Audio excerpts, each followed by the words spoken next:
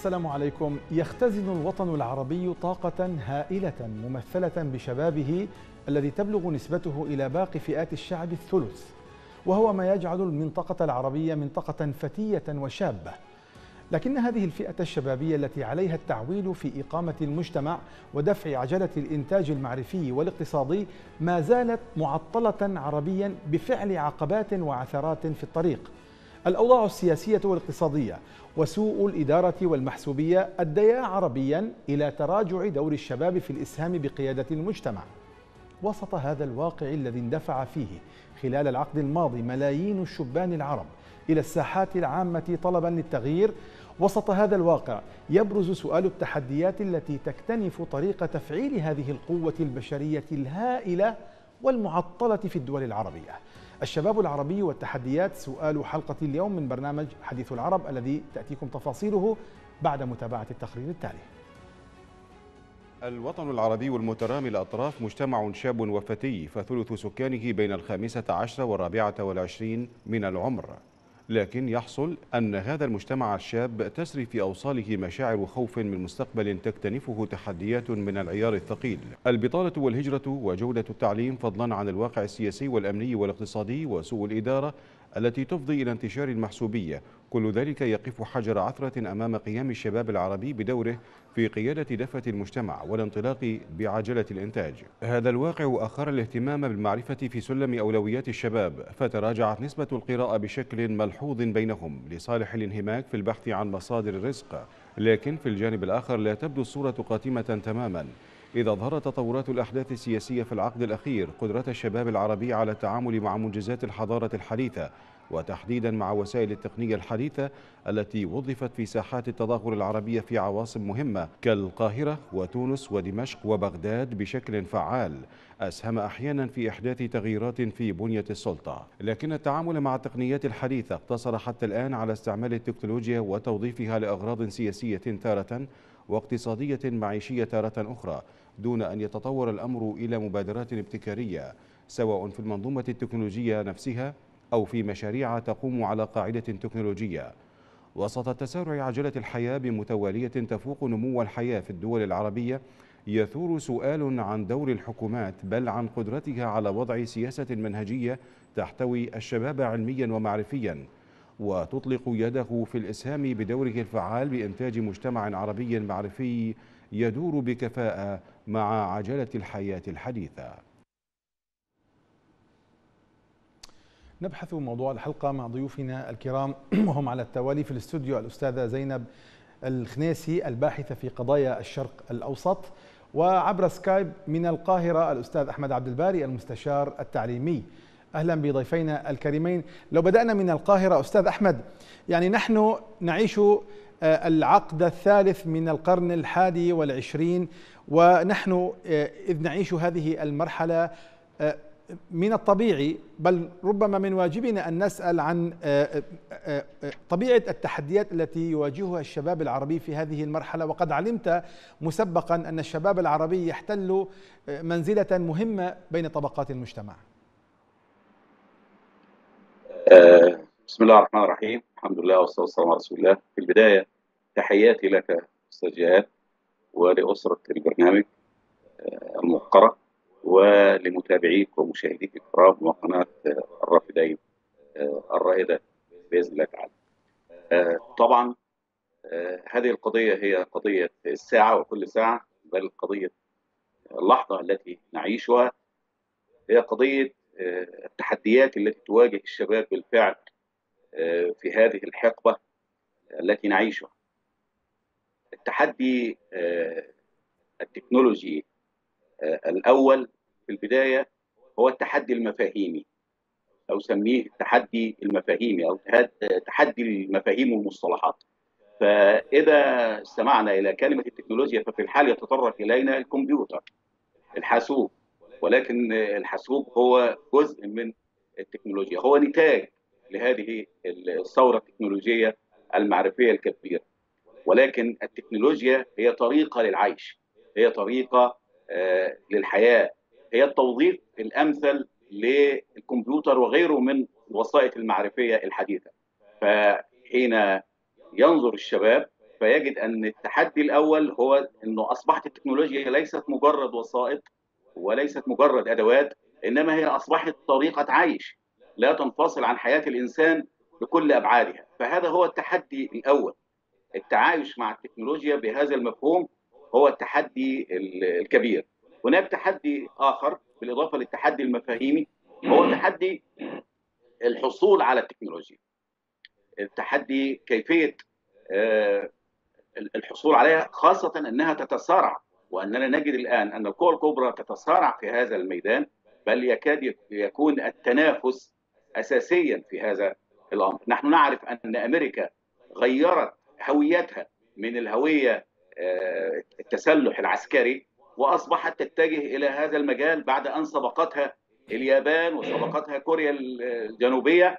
ففي عهد ريجن بدأت تغير من آه، الاستراتيجية وتغير حتى من الهوية لما وجدت أن ما يسمى بأشباه المواصلات بدأت تحتلها اليابان وتتفوق فيها وكوريا الجنوبية وغير ذلك بدأت تتجه وتخلت عن مصطلح الإمبراطورية الشيطانية لروسيا واضطر ريجن أن يزور روسيا لأجل أن يحد من نزعة التسلح وأن يتجه إلى عدم التسلح نعم. لأجل أن يواكب بسرعة وبمرونة العصر الحديث لتحتل أمريكا الريادة مرة أخرى في هذا الميدان.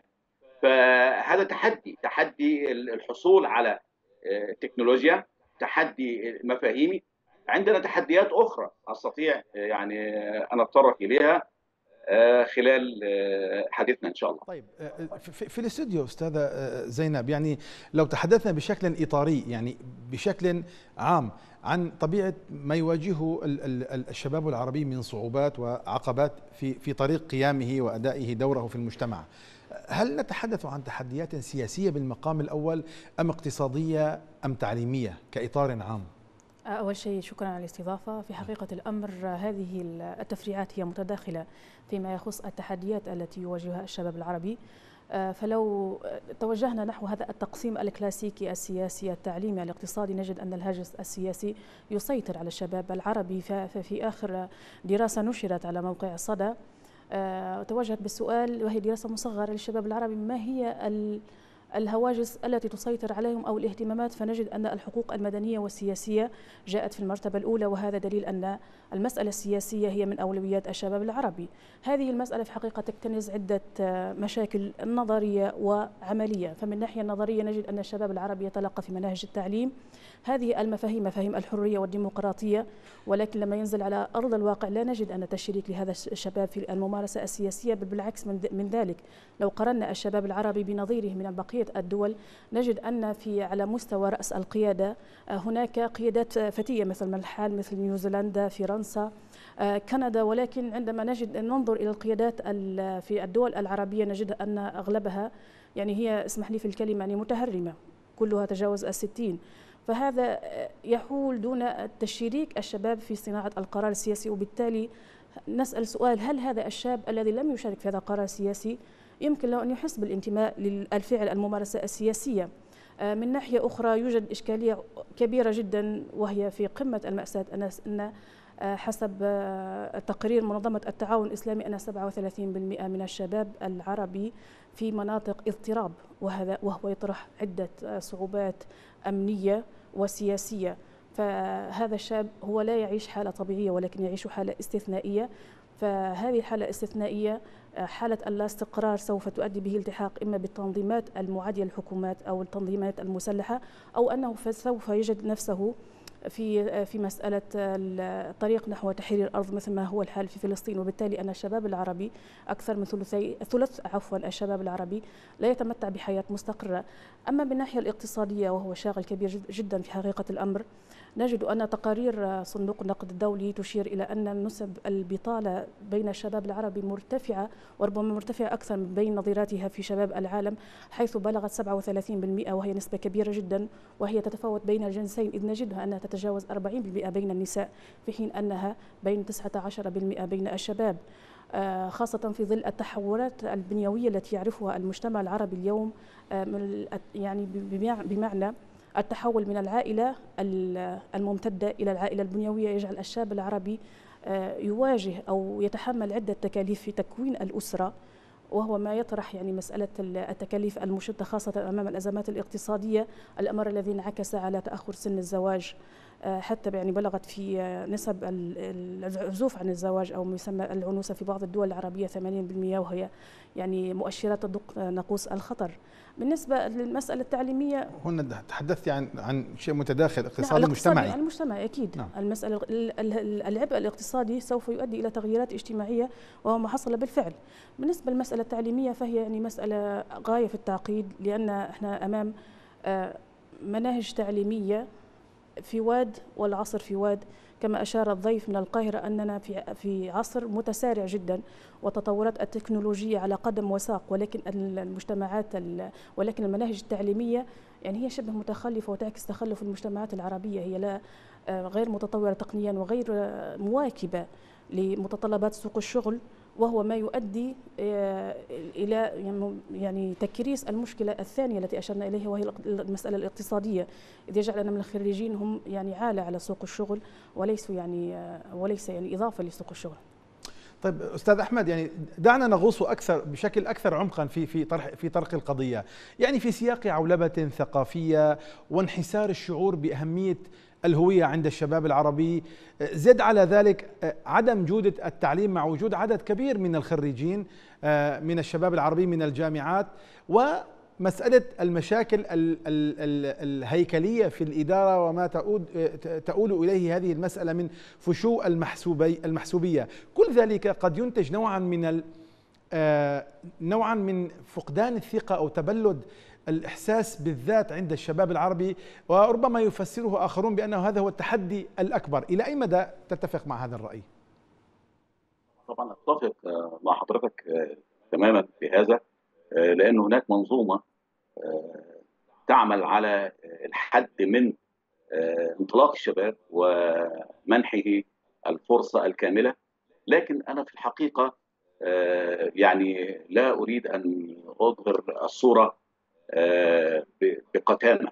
ولكن في هناك ضوء لابد أن نعترف به. هناك صحيح هناك تحدي بين مصادر التعلم التي يستخدمها آه، الشباب في الجامعات وعمرها الافتراضي. يعني آه، بعض الجامعات ما زالت تدرس للطلبة في ال IT في علوم الكمبيوتر والحاسوب ال floppy disk اللي هو عاف عليه الزمن. بالرغم الآن هناك طفرات هائلة في في استخدام المعالج الحديث اللي هو المعالج 7 اللي أوروبا كلها بتشتغل تعمل به بالنسبة للحاسوب. وبالرغم من ذلك فإننا نجد بصيص ضوء من أن هناك مثلا دخول الذكاء الاصطناعي في بعض الجامعات موجود في مصر في السعودية في بعض الدول بتفاوت النسبة يعني ممكن في الجامعات. بين الحكومية والخاصة في نسب متفاوتة لكن آه، يوجد الآن بدأ يعني الذكاء الاصطناعي برامج الذكاء الاصطناعي وهي برامج حديثة ومطلوبة جدا لكن محروم منها قطاع كبير جدا من الشباب. لأنه أحيانا الجامعات الخاصة آه، التي يتوفر لديها آه، هذه التقنيات الحديثة مبالغها باهظة رسومها باهظة تكاليف عند قطاع كبير من الشباب. فلا شك هناك جهود فردية من الشباب في البحث في إن هو يدخل على الإنترنت وإن هو يحاول يعني حقيقة هناك نماذج من الشباب يعني هناك شباب استطاع بجهوده الذاتيه أن يستوعب جوجل وأن يعمل آه، في هذه الشبكة شبكة جوجل بعد أن استوعب برامجها بذكاء وعبقرية. يعني الشباب العربي آه، ليس بهذه يعني الصورة اللي هي فما ما بالنا لو منح الفرصة وأعطيت له الإمكانات فإنه شباب ذكي جدا وأنت ستجد حضرتك في قطاعات كبيرة جدا في امكانات الشباب العربي أستاذ أحمد ربما نتحدث ربما نتحدث عنها آه، بشيء من التفصيل بعد الفاصل ولكننا الآن آه، مضطرون لبيان طبيعة الصعوبات التي تواجه طريق انطلاقة الشباب العربي بما يؤدي إلى أداء دوره في قيادة المجتمع العربي. أنا حدثتك عن الجانب النفسي عن التحديات النفسية. ربما ربما يعني ثمة من يرى وربما أنت من, من أنصار هذا الفريق أن هذه التحديات النفسية فشو المحسوبية والمشاكل الهيكلية في الإدارة والعولمة الثقافية ربما يكون لها مردود عكسي وتكون تلعب دورا تحفيزيا بالنسبة للشباب لتغيير واقعهم كما حصل في تونس وما أدى بعد ذلك إلى انتفاضة عربية. أقول لحضرتك نقطة مهمة جدا ركز عليها. آه، فوكوياما آه، في كتابه الثقة. فرانسيس فوكوياما الفيلسوف الأمريكي السياسي نعم. الفيلسوف الأمريكي نعم. آه، فرانسيس فوكوياما. في كتابه الثقة يتكلم أستاذ جهاد عن نقطة مهمة جدا عن أهمية المجتمع المعافى المجتمع المدني المعافى. وهذا المجتمع هو يعتبر الرافعة لهذا الشباب. فالشباب هو لا يعمل في جزر منعزلة ولا يعمل في سياقات منفردة إنما هو آه، يتأثر بالبيئة يتأثر بالمجتمع الداعم آه، المساعد له. لا شك أن هناك خللا كبيرا في هذه النقطة. فهو يتكلم عن المجتمع المعافى ويركز آه، بالذات على قضية الأسرة. وهذا على عكس ما يتصور الكثيرون. هو يركز على دور الأسرة في منح الشاب المعافاة والدافعية والقدرة على إن هو يجتاز العقبات. من خلال مجتمع هو يسميه المجتمع المدني المعافى آه، وهو طبعا يتكلم بالمنظور آه، الليبرالي فلا شك أن مثل هذا المجتمع بثقافته يستطيع أن يقدم الدافعية القوية لهذا الشباب كي ينطلق نعم. في الابتكار في المعايشة في ردم الهوه بين مصادر التعلم هذه نعم. المتخلفة وبين ما يحتاج إليه سوق العمل لأن لدينا فجوة كبيرة بين مصادر التعلم وبين ما يحتاج إليه سوق العمل فهذه الفجوة أيضا تحتاج إلى عناصر عدة حضرتك نعم. أشرت إلى بعضها وأيضا آه، آه، ما قاله آه، فرانسيس فوكوياما يؤكد هذه القضية أو يعزز دور المجتمعي وكما قال الملك النبي رحمه الله أن الإنسان ثقافته هي المحيط المجتمع المحيط به. فعلى قدر قوة هذا المجتمع وعافية هذا المجتمع المحيط بالفرد على قدر إنجازه على قدر دافعيته على قدر ابتكاره وإبداعه وأن ينطلق قدما إلى الأمام بفضل هذه الرافعة التي هي آه، مشكلة من نعم. تراكم تاريخي وثقافي وحضاري وهذا نحن يعني آه، متوفر لدينا. ولكن لكن تحدثت في أستاذ أحمد تحدثت في بداية الحلقة عن نقطة مهمة وهي تغيير الاستراتيجي الذي اتبعته الإدارة الأمريكية في التحول من الإنفاق على التسليح إلى الإنفاق على التكنولوجيا ووسائط التعليم الحديثة وهنا أعود مرة أخرى إلى الاستوديو لأسأل عن دور الحكومة، هل في الوطن العربي نستطيع أن نلحظ سياسات حكومية ممنهجة لاحتواء الشباب ودفعهم في عجلة الإنتاج؟ آه، في حقيقة الأمر آه، أود الإشارة ليس فقط ولو في الحد الأدنى طبعا. تمام. ليست فقط الولايات المتحدة الأمريكية والصين أصبح الصراع ليس صراع القوة العسكرية ولكن التقني مؤخرا ألمانيا أيضا تفطنت إلى هذه الإشكالية في الحرب الروسية الأوكرانية واتجهت نحو تحديث الجيش الألماني عبر التحديث التقني. آه، بالنسبة فيما يخص سؤال هو يعني في حقيقة الأمر يختلف بين الدول العربية هي ليست وحدة واحدة وتختلف حسب السياسات ولكن في العموم هي دون المطلوب لعدة أسباب. لأن المسألة البنية التحتية التكنولوجية بالنسبة للشباب هي غير متوفرة. فلو عدنا على سبيل المثال للجامعات فنجد أن أغلبها هي جامعات بدائية ولا ولا توفر التقنيات المناسبة لاحتواء الشباب فيما يخص الابتكارات العلمية.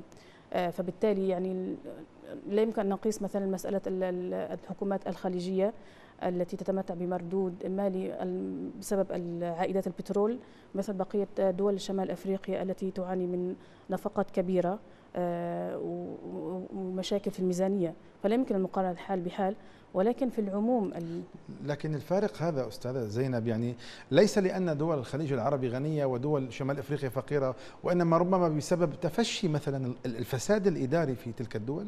هو هو هو جانب من الجوانب ولكن مثال عندما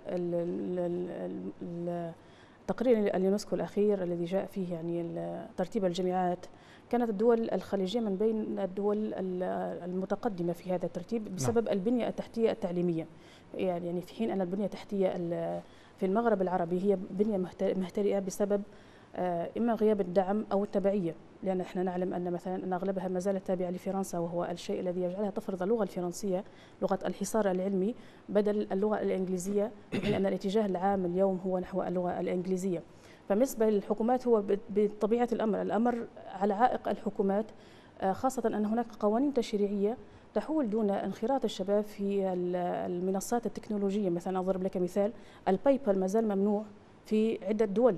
يعني لا يستطيع الشباب تلقي أموال من الخارج عبر هذه التقنية في حين أن هذه المنصات الرقمية شكلت سوق شغل بديل الكثير من الشباب في العالم في حين أن شباب بعض الدول العربية ما زالت تمنعه.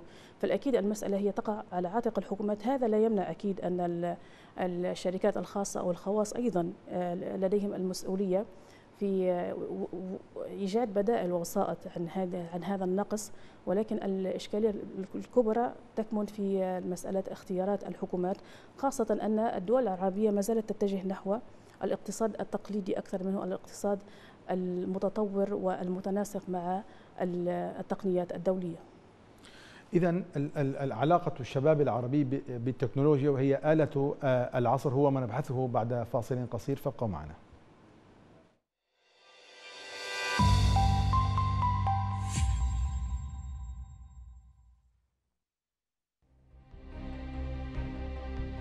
مشاهدينا الكرام ننوه لحضراتكم أن تردد قناة الرافدين الفضائية هو عشرة آلاف وسبعمائة وسبعة وعشرون الاستقطاب أفقي على مدار القمر نايل سات.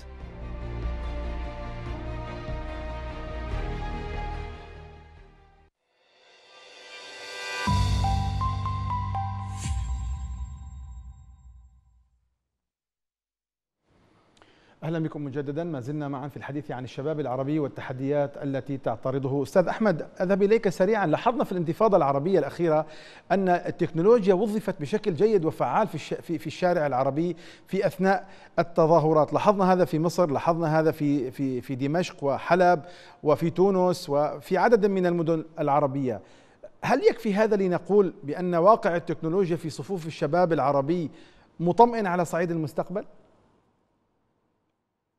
طبعا آه، جهاد آه، الدور الذي آه، لعبته الميديا في هذا الجانب هذا يعني لا خلاف عليه بين الجميع يعني بين جميع المراقبين لكن الدفع قدما لهذه الوسائل وتلك الوسائط إلى صياغة الحياة بمختلف أبعادها.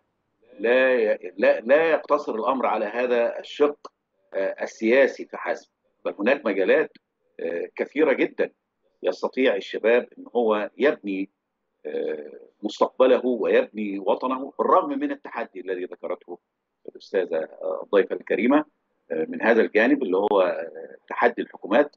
لكن لا شك أن الشباب آخذ الجانب الإيجابي من التجربة التي حدثت من الشباب من قبل بأن يتجه هذا الشباب إلى ابتكار وهو قادر على ذلك. ابتكار ما ما يسمى بالخدمة المجتمعية. ومحاولة يعني ردم الهوة بين الجزء الحضاري في في الحياة في الوعي الاقتصادي والوعي الثقافي والوعي الاجتماعي والوعي التربوي. هذه مجالات يستطيع أن هو يشق طريقه فيها وهذه يعني يستغل القدر المتاح له الآن في الميديا وفي الوسائط كلها يستطيع أن يوظف هذا وهذا مسموح له ومتاح له لأجل ان هو يكون هذا المجتمع المعافى يعني يدعو إلى هذا المجتمع المعافى ولا شك أن هذا المجتمع المعافى آه، على المدى لا أقول البعيد لأنه التسارع لا يجعلنا نقول المدى البعيد، المدى القريب يجعل أن البنية الثقافية والاجتماعية والحضارية للمجتمع تستطيع إن هي تغير من حياة الناس بصفة عامة في قطاعات شتى. فالبعد النظرة الأكثر شمولية للتكنولوجيا هي التي يعني في حاجة إلى التركيز عليها. حتى إنها تستطيع أن تؤتي أكلها وثمارها في الحياة اليومية. وهناك محاولات لهذا في بعض آه، الناس يحاولون ذلك حقيقة بجهود فردية ولا يعني آه، هو نشر الوعي. الثقافي والوعي الحضاري وهذا كله لا يستطيع أحد أن يقف أمامه. فهذه قضية مهمة جدا إنه المتاح لهذا الشباب البحث عن ميادين وحقول جديدة لأجل ان هو يبدع بدلا من أن ينكفئ على نفسه وأن ينتظر معجزة أو ينتظر شيئا من هذا القبيل. فهذا هو المفروض الذي يركز عليه الشباب مستقبليا. والشباب يفكر ويبتكر ويحاول. وهناك طبعا محاولات. صحيح أنها قليلة أو محدودة أو يغلب عليها الجانب الفردي إلى غير ذلك لكنها بلا شك تؤثر ويرحب بها الجميع لأنك أنت في النهاية لا تصطدم بأحد سوى إنك أنت بتحاول إنك أنت تنقل الناس حضاريا تنقل الناس ثقافيا مجتمعيا. أقول لحضرتك على نقطة مهمة مثلا يعني في في غاية الأهمية أراها. هي قضية اللغة التحدي اللغوي. يعني أنت عندك الآن عندنا اللغة الصينية واللغة الإنجليزية. اللغة الصينية واللغة الإنجليزية دول اللغتين اللي هم التنافس المستقبلي بينهم الآن لأنه دول بيملكوا الصين بتملك التكنولوجيا باستقلالية والغرب بأمريكا بيملك كذلك باستقلالية لغة الإنجليزية. أصبح الآن عندك في تحدي كبير أمام شبابنا ان يستوعب لأنه لا يستطيع إن هو يستوعب هذه الحضارة وتلك الثقافة بدون التعرف على هذه اللغات. في نفس الوقت التحدي أمامه إنه يحافظ على لغته.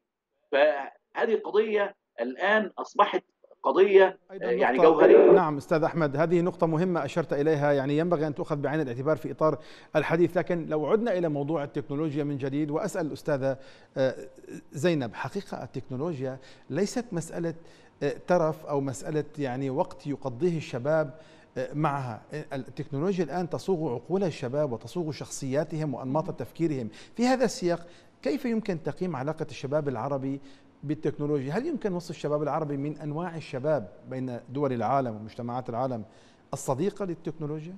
بداية أود تعقيب على مسألة وهي مسألة دور الحكومات في أنا هو أشار إلى فرانسيس فوكوياما وفرانسيس فوكوياما صاحب نظرية التحديث أشار أن التحديث هذا مسؤولية الدول. أنا أقصد بمعنى أن تقع على عاتق الحكومات مسألة التحديث التقني الكامل. أما بمسألة هذه الاختراعات البسيطة من هنا وهناك أو نشر ثقافة الابتكار هذه مما لا شك فيه تقاسمها الأفراد مع الحكومات. ولكن التحديث التقني بما هو يعني مسار عام هذا مما لا شك فيه هو يقع على عاتق الحكومات وليس الأفراد. فيما يخص بعلاقة الشباب العربي بالتكنولوجيا. في حقيقة الأمر الأمر الشباب العربي ليس هو من اخترع اخترع هذه التكنولوجيا الحديثة إنما هو يعني يدخل ضمن دائرة التبعية الاستعمالية. يعني يعني لا أذكر بعض الشباب الذين هاجروا إلى الغرب ووجدوا الفرص للابتكار والانخراط في الابتكارات التكنولوجية ولكن كعموم الشباب العربي هو متلقي ونحن دائما نعلم. أن هناك إشكالية عندما نستعمل ولا لا نبتكر نقع في إشكالية الإدمان وهذا ما تشير إليه التقارير اليوم بأن الشباب العربي مع الأسف الكبير في جزء كبير مدمن على هذه التقنيات بالمعنى السلبي مدمن بالمعنى أكيد السلبي؟ بالمعنى السلبي وليس بالمعنى الإيجابي بمعنى أنه كثرة الدخول على وسائل التواصل الاجتماعي خاصة أنه لا يجد الحيز الاجتماعي الذي يتنفس من خلاله أو الذي يعبر عن هويته أو عن اختيارته فيجد أن الجانب التقني أو الافتراضي هو البديل فيتجه نحو مسألة الإدمان. مثلا الآن هناك تقارير تشير مثلا الشباب الإماراتي 40% منهم مدمن على التكنولوجيا ويقضي أكثر من تسع ساعات يعني أكثر من ساعات النوم داخل وسائل التواصل الاجتماعي. يعني وأغلبية الذين يستعملون التكنولوجيا الحديثة في العالم العربي هم لا يلجون البوابات العلمية أو الوصول إلى معلومة أو المسألة التعليمية أو هذه المسائل أو تعليم اللغة ولكن أكثر منه استعمال وسائل التواصل الاجتماعي. فأضحت المسألة كأن بها التكنولوجيا الحديثة هي مجرد استعمال لوسائل الوسائل التواصل الاجتماعي التي هي تعتبر جزئية بسيطة جدا ضمن مساحات التكنولوجيا الكبيرة. فالعلاقة في حقيقة الأمر هي ليست العلاقة بالمستوى المطلوب ولكن ليس يعني الشباب العربي لم يستغل نعم. المنصات التقنية كمنصات تعليمية أو تعليم مهارات أكثر من آه، مع أن هناك عشرات بل إذا مئات المواقع أو المنابر في اليوتيوب وغيره التي تقدم مادة نافعة هناك مما لا شك فيه ولكنك إذا بحثت في التقارير التي تتحدث عن الساعات التي يقضيها المواطن العربي داخل وسائل التواصل الاجتماعي هي أكثر بكثير مما يقضيها داخل هذه نعم. المنصات التعليمية وبالتالي مع الأسف الشديد هذه علاقة هي علاقة تبعية علاقة آه، عدم توافق في الاستعمال دعنا نستعمل هذه الكلمة علاقة إدمان وليست علاقة آه، مثل ما هي يستعملها النظراء نعم. الغربيين. الحقيقة هذا ما كنت أريد أن أسأل في هذا السياق الأستاذ أحمد في القاهرة في سياق جدلية العلاقة بين الشباب العربي والتكنولوجيا من الذي يؤثر بالآخر ويعطيه ويمنحه؟ هل التكنولوجيا أم الشباب؟ طبعا هي العلاقة نستطيع أن نقول إن التكنولوجيا لها تأثير كبير لأنه هو إحنا ما زلنا آه، كما قالت الاستاذ زينب إحنا آه، لسنا صانع التكنولوجيا. فالبرامج البرامج والمواقع والقنوات يعني العدد المهول كله هو القادم. يعني أنا لو استطاع الإنسان إن هو يحصل على كورس متقدم لأنه هيكون في نوع من الحداثة لا شك إنه هو آه، سيبحث آه، في الوارد أكثر فنحن الآن في مرحلة لا نستطيع أن نقول إننا آه، نؤثر لأنه إحنا جزء من المقصود بالتأثير أستاذ أحمد المقصود بالتأثير فيما يتعلق بالعلاقة بين الشباب العربي والتكنولوجيا هو إلى أي مدى نجح الشباب أو فئام من هذه الشباب من هؤلاء الشباب في تطويع التكنولوجيا لمصلحة الإنتاج سواء كان المعرفي أو الاقتصادي أو إلى أي مدى هناك نجاح في تطويع هذه التكنولوجيا؟ أقول لحضرتك أن هناك جهودا فردية أكثر منها جهود مجتمعية وهي تجارب ناجحة. يعني مثلا قد تجد في جامعه من الجامعات تجد آه، آه، مثلا نسبة الأساتذة الجامعيين آه، تجد نسبة 20% منهم يواكب الحداثة ويؤثر ويؤثر في طلابه ويأتي لهم بالحديث ويطور من أدائه ومن مادته العلمية الربع يعني حوالي 20% لكن هل مثلا تجد المستوى أو المستوى النسبة أكبر من هذا؟ بحيث إن هو يكون نوع من التفاعل بحيث إن هو يعود بالنتيجة الإيجابية على آه، الطلبة مثلا الذين يتلقون منهم آه، هذه ما زالت ما زلنا يعني في هذا الجانب آه، لا ندعي أننا متقدمون. كتأثير هناك تأثير ولكن جزئي. هناك شباب استطاع أن يحصل على فرص عمل وأن يحاول إن هو يتعلم البرامج وحقيقة هذه النسبة هي في حاجة إلى التحفيز في حاجة إلى الدفع في حاجة إلى الزيادة. حتى إن إحنا نطلع من الإطار اللي تكلمت عليه آه، الضيفة الكريمة اللي هو إطار اللي هو ينام تسع ساعات وان هو مدمن فقط إن هو بعض الأشياء للتسلية أو لأي شيء آخر. فهناك نسبة من الشباب استطاعت فعلا إنها سنجد. كل مجموعة شبابية ستجد منهم عدد استطاع إن هو يتغلب على هذا الواقع استطاع إن هو يبحث عن فرص عمل استطاع إن هو يوفر لنفسه آه، مجالا للإنجاز للإنتاج وهذا يدفعه وقد يدفعه للهجرة قد يدفعه ليعلم غيره. هناك فرص لا شك وهناك مساحات من النجاح في هذا الجانب لكن ليست هي بالنسبة المأمولة ولا الدرجة اللي إحنا آه، بنطمح إليها. عطفا على ما قلته قبل قليل أستاذ أحمد وأسأل هنا آه، آه، زينب معنا في الاستوديو. تحدث عن أن الصين اللغة الصينية الآن تنافس اللغة الإنجليزية لأن الصين صارت تنتج التكنولوجيا. طيب في الحالة العربية الآن الشباب العربي أكثره بين مدمن بالمعنى السلبي كما تفضلت قبل قليل وبين حتى الفئات الناجحة يقتصر نجاحها على استعمال التكنولوجيا بما يخدم أغراضها الخاصة. دون أن يتطور الأمر إلى إنتاج المشاريع وإنتاج المعرفة التكنولوجية ما الذي يمكن أن يحيل العرب من الناحية التلقي السلبي الإدمان أو الإنتاج في حدوده الضيقة إلى إنتاج تكنولوجي معرفي بحيث لا يضطر العرب مستقبلا إلى اللهاث بين تعلم سواء اللغة الإنجليزية أو اللغة الصينية ويكتفون باللغة العربية مثلا. طيب سؤال جميل جدا في حقيقة الأمر. بداية التعليم وما أدرك ما التعليم وأشرنا إلى أنه يشكل عائق. ربما أكون مضطرا لأن أطلب منك أن ترفعي صوتك قليلا كون ضيفنا يحاول يسترق السمع إلى صوتك. آه نعم. تمام. آه عفوا. آه أنت أشرت أشرنا قبل قليل إلى المسألة المسألة التعليمية. وهي تشكل في حقيقة الأمر آه، عقبة من العقبات. آه، فالتعليم كما أشرنا هو يعني ما زال تعليما تقليديا ولم يرتقي إلى مستوى المجتمع المعرفة أو المجتمع المجتمع التقني لعدة أسباب في حقيقة الأمر. أول شيء هذا تعليم يحتاج إلى إصلاح هيكلي جذري وليس يعني فقط يعني تغيير مناهج ومناهج. أكيد أن المناهج التعليمية تحتاج إلى تغيير خاصة أن هي تقع منزلة بين منزلتين إما أن تكون تابعة للغرب وإما أن تكون في حقيقة الأمر مسيسة من الداخل. آه، فالمناهج التعليمية تضررت كثيرا من المسألة التبعية فيجب المناهج التعليمية الا تتبع الدوائر السياسية ولكن أن تتبع الدوائر العلمية إن صح التعبير. هذا في البداية. البنية التحتية الجامعية. البنية التحتية الجامعية مهترئة من الأسف أستاذ جهاد عندما نتجه إلى الجامعات والمخابر داخل هذه الجامعات نجدها أنها في حالة يرثى لها الميزانيات المرصودة للبحث العلمي منظمة اليونسكو نشرت تقريرا آه، قالت فيه أن صفر أن الميزانية المرصودة للبحث العلمي في العالم العربي هي 0.3 سنة 2004 وهي يعني مؤسفة جدا مقارنة بالميزانيات المرصودة للتسليح. المسألة الثالثة في حقيقة الأمر وهي من التوصيات التي أتى بها البيان الختامي لمنظمة المؤتمر الإسلامي الصادر سنة 2015 تهيئة بنية تحتية تكنولوجيا واضحة المعالم يستطيع من خلالها الشباب ممارسة التكنولوجيا في وضع صحي. هذا الشباب الذي يجهل ما هذه التكنولوجيا من ما تتكون هذه التكنولوجيا أكيد سوف يكون يقتصر الاستعمال آه، استعمالات خارجية. هو لا يعرف هذه التكنولوجيا ما هي. فبالتالي يعني هذه مسألة واضحة جدا يعني سوف يكون فقط مجرد مستعمل. ولكن حينما يفكك ويركب ويدرس هذه التكنولوجيا من الداخل سواء في الجامعات سواء في المنصات الرقمية هو سوف يكون مشارك في بناء هذه التكنولوجيا.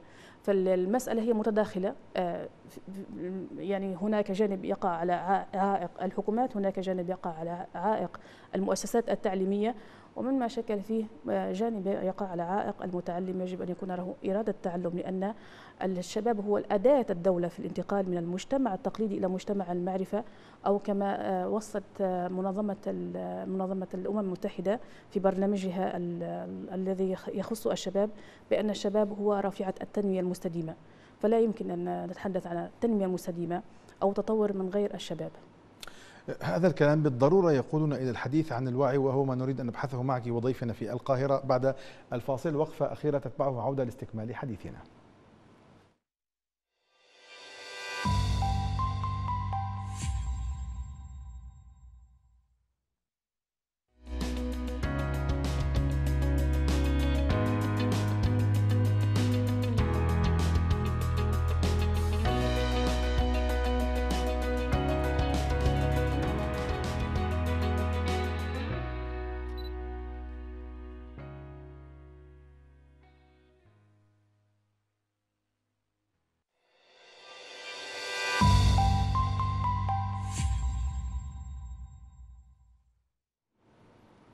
أهلا بكم في الجزء الأخير من الحلقة. أستاذ أحمد الدولة العربية أو المجتمع العربي بشكل عام الوطن العربي هذا هذه المساحة المترامية التي تزيد عن الثلاثة عشر مليون كيلو متر مربع والتي يعني يقارب سكانها يعني الأربعمائة مليون نسمة أو يزيد ربما أقل من نصف مليار بقليل. هل هذه المجتمعات العربية تملك مقومات صناعة وعي حقيقي لدى الشباب العربي بما يفضي هذا الوعي بما يفضي في النهاية إلى دفع الشباب للقيادة استلام زمام القيادة في عجلة الإنتاج. طبعا تملك لكن البداية ستكون هي الفكر الإرادة الحضارية. قبل الإقلاع الحضاري لابد أن يكون هناك الفكر الحضاري الإرادة الحضارية. فهذه نقطة في غاية الأهمية. آه، غرس هذه القناعة هذه الإرادة. مثلا الإرادة هذه يتحدد على أساسها آه، مثلا توزيع الثروة الأولويات. أمور مهمة جدا. أنت تجد مثلا حضرتك أن هناك دول غنية في العالم العربي وحباها الله سبحانه وتعالى بالثروات ومع ذلك هي آه، تنفق على البنايات وعلى المرافق العالية وتشيد البنيان العالي ولم تضع أساسا معرفيا قويا أو تعطي تمنح المعرفة التأسيسية القدر الأكبر أو الأولى أو الأهم. فهذه قضية تحديد الأولويات الأهم فالمهم وتأسيس بنية معرفية يقوم عليها المجتمع أو تقوم عليها حتى هذه المرافق وهذه البنية التحتية التي تم تشييدها. كأساس. من الذي ينبغي أن أن يضع هذه البنية التأسيسية المعرفية أو ما أسميته الانطلاق الحضاري؟ أساس الانطلاق الحضاري. طبعا هذه آه، آه، أقول لحضرتك هذه عوامل كثيرة. نستطيع أن نقول إن أصحاب الفكر العلماء المفكرين عموما الأدباء الكتاب ما زال في الأمة في الصدى وفي الأصوات هذه حتى لو إنها تركز على هذه القضايا آه، حتى حتى هذه الفئة التي يناط بها أن تنشر الفكر والوعي تستطيع هذه الفئة نفسها أن تطبق على نفسها هذه القاعدة تبدأ بنفسها أنها ترحل بعض القضايا وبعض الأمور التي هي تعتبر آه، يعني استنزاف لجهودها دون التقدم خطوة للأمام وأن تنطلق كما انطلقت كثير من الدول وكثير من المجتمعات المدنية في هذا الجانب.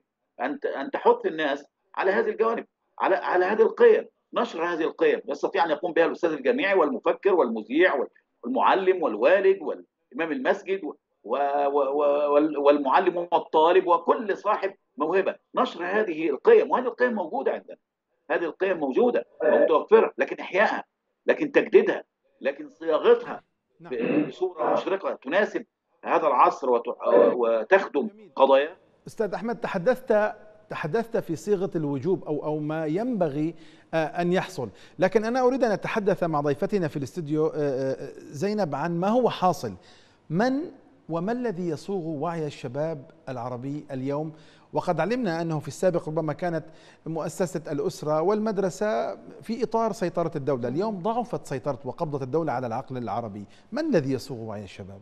طيب اليوم نحن نشهد تراجع المرجعيات في حقيقة الأمر فيما يخص تراجع المرجعيات فيما يخص صياغة العقل العقل العربي.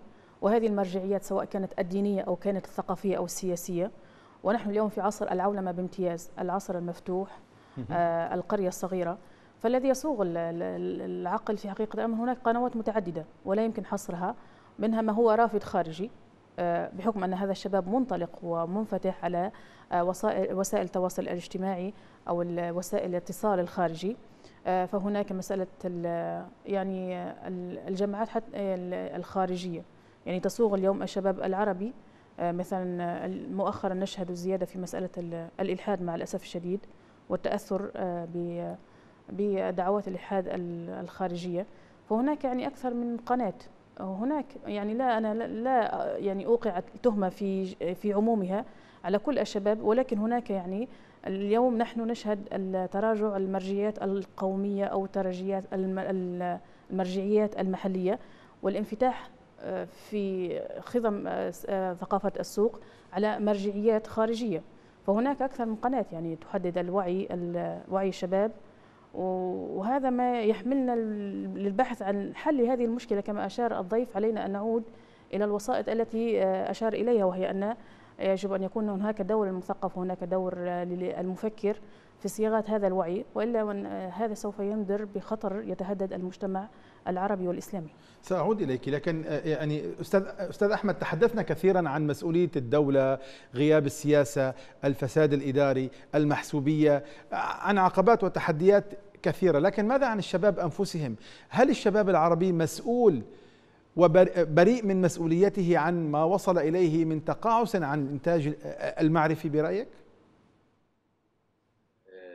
في الحديث الشريف اللي النبي صلى الله عليه وسلم تكلم فيه عن سبعة يظلهم الله في ظله يوم لا ظل إلا ظل تذكر حضرتك طبعا والضيفة الكريمة أنه بدأ النبي صلى الله عليه وسلم بقوله إمام عادل. بعده مباشرة قال وشاب نشأ في طاعة الله عز وجل. شاب نشأ في طاعة الله. يعني قرن الإمام العادل على طول بعد منه مباشرة هذا الشاب الذي نشأ في طاعة الله سبحانه وتعالى. آه، طبعا عليه دور كبير وهو هذا الشباب الذي يقرأ سورة الكهف كل جمعة غدا الجمعة يقرأ الكهف ويقرأ آه، قضية الفتية اللي آمنوا بربهم وزادهم الله هدى. وهي قضية تركز على مسؤولية هذا الشباب تركز على القضية القضية ماهيه هذه المسؤولية أستاذ أحمد؟ ماهيه هذه المسؤولية؟ نعم نعم الصوت شوية. يعني أنا أسأل عن ماهيه مسؤولية الشباب. طبعا آه، آه، الشباب الشباب آه، الش- الشباب حباه الله سبحانه وتعالى بالتفكير بالابتكار بالقدرة على تجاوز المألوف. هذه يعني مواهب اعطاها الله سبحانه وتعالى للشباب وسنجد أن الأمم لا تتقدم إلا بهذا الفكر إلا بهذا الشباب.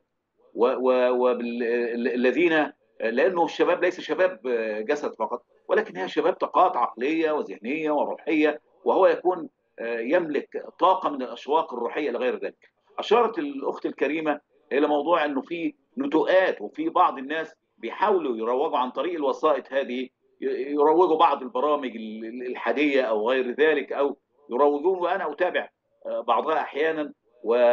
و... وأناقش البعض.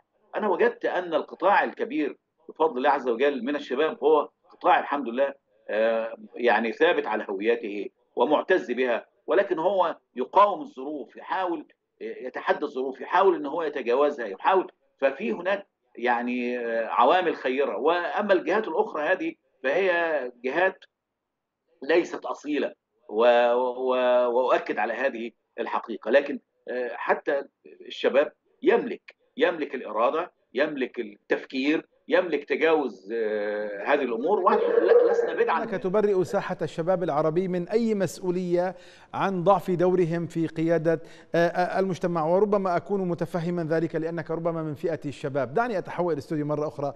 أستاذ أحمد وأختم معك سيدة زينب. يعني هل توافقين على أن وسائل التواصل المجتمعي سطحت عقول الشباب العربي وحرمتهم من نعمة التفكير؟ شوف آه، وسائل التواصل الاجتماعي خاصة في ظل التعتيم الإعلامي داخل الدول العربية هو شكل آه، قنوات بديلة للوصول والولوج إلى المعلومة خاصة يعني نحن شهدنا وواكبنا أحداث الربيع العربي. آه، كانت هناك مثلا القنوات الرسمية المحلية تتكتم على الأوضاع ولكن وسائل التواصل الاجتماعي كانت هي شرارة الثو- الثورات في تونس وفي غيرها من البلدان. فلها جانب إيجابي في فيما يخص هذه المسألة. خاصة في الوضع الانغلاق السياسي داخل هذه الدول الدول العربية. ولكن في جزء آخر منها أنها آه، تسيطر على حي أغلبية حيز ال- المواطن العربي فيما يخص استعمالاته للتكنولوجيا. لأن أغلب كما أخبرتك استعمالات آه، هي هي الدخول إلى وسائل التواصل الاجتماعي. وهذه الوسائل فيها كثير من هذه المساحة الإشاعات الأخبار الكاذبة الزائفة ال- الثقافة السطحية كما آه، ثقافة التسطيح فمن ما لا شك فيه أن لأنها لعبت دورا مع الأسف سلبيا فيما يخص مسألة تسطيح وعي الشباب العربي الذي لم يعد يتجه مثل آه، جيل الثمانينات والتسعينات نحو الكتب لاستقاء الروافد الفكرية والعلمية. فهي تتحمل مسؤولية هي فيها جوانب سلبية وإيجابية آه، ولكن في- فيما فيما يخص هذا الأمر مما لا شك فيه أنها تتحمل آه، مسؤولية والمسؤولية هي مما لا شك فيه في الشخص الذي يدخل إلى هذه الوسائط. بغية التثقف لأنها ليست هي قنوات تثقيف وليست آه، قنو هي ليست موارد تعليم ولكنها يعني مجرد يعني قنوات ترفيه أو استقاء معلومات وأخبار وربما ما يساعد على أداء وسائل التواصل الاجتماعي هذا الدور السلبي في الحياة المجتمعية غياب القوانين الناظمة للعلاقة. هناك دول عربية تفاطنت إلى هذه المسألة آه، وصاغت قوانين مثل الوضع في تونس. آه، مثال في تونس هناك قوانين استحدثت فيما يخص الجريمة الإلك- الإلكترونية. أو الثلب الإلكتروني ولكن هناك بعض الدول العربية ما زالت قاصرة في المسألة التشريعية آه، فعليه أكيد مما لا شك فيه أن آه، تحيط هذه الوسائل والوسائط بمنظومة تشريعية حتى تحافظ على حقوق الأفراد ولا تجعلها مفتوحة على مصراعيها أشكرك وأشكر ضيفنا في الاستوديو مشاهدينا الكرام وصلنا إلى ختام هذه الحلقة التي أشكر في نهايتها ضيفي الكريمين في الاستوديو زينب الخنيسي الباحثة في قضايا الشرق الأوسط وعبر سكايب من القاهرة الأستاذ أحمد عبد الباري المستشار التعليمي. يبقى الشكر الأكبر لحضراتكم على كرم المتابعة في حراسة الله.